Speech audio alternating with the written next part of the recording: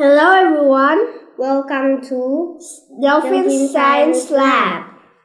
The experiment, uh, the experiment today is rainbow walking water. My name is Mia. and my name is Haidang. Let's get started.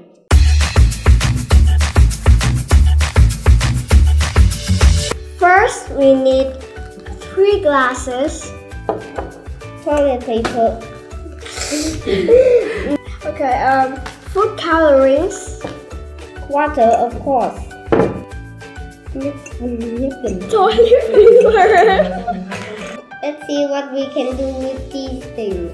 Step 1.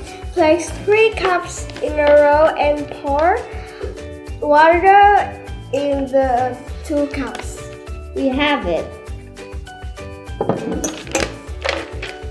Step 2. Add 5 dro- to 3 drops of food coloring to the water.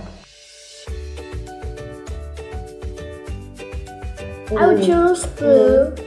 I will choose yellow. Ah! Ooh. That's too much.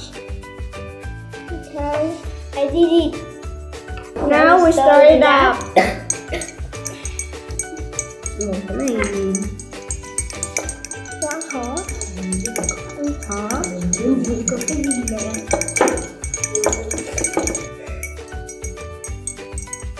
Đừng có sợ rồi. It's too dark. Ít too dark.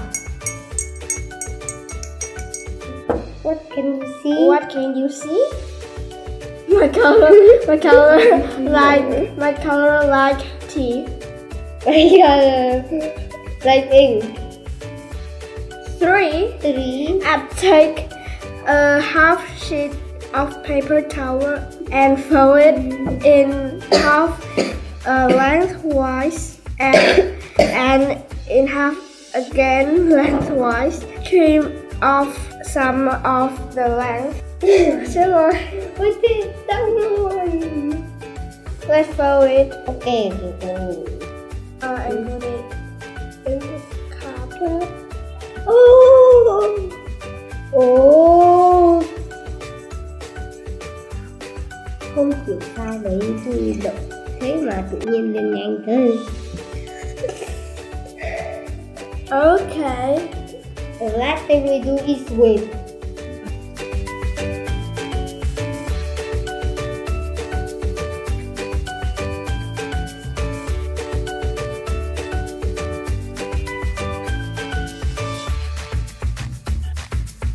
The paper towel makes the bridge for the water to travel from one cup to another.